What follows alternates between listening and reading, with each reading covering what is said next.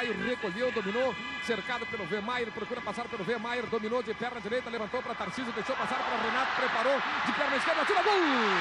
Gol!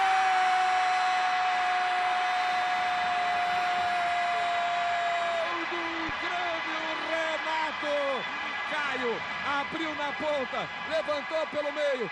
Mário Sérgio ergue as mãos para o céu, como agradecendo a Deus pelo gol de Renato Joabel Pereira.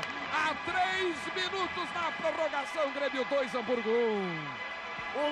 Disse que estava com jeito de jogo heróico e parece que é isso que vai acontecer. China com o tornozelo sentindo, Renato com cãibras, mas o Grêmio com alma. Foi o De Leon para frente, encostou para o Caio, trouxe da ponta para o meio, levantou, Tarcísio entrou como centroavante, mas não bateu em gol. Penteou de cabeça para trás.